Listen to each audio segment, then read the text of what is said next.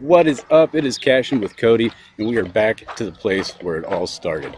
Uh, geocache was recently placed, and uh, this is actually where I first started geocaching.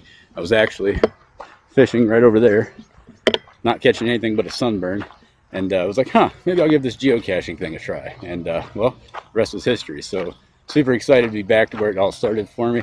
Uh, so let's go find it. All right, so I'm thinking it might be somewhere in these trees.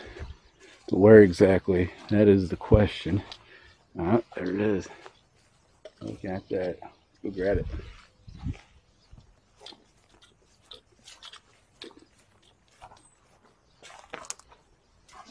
Check this out. Got a nice cord on it. Very cool.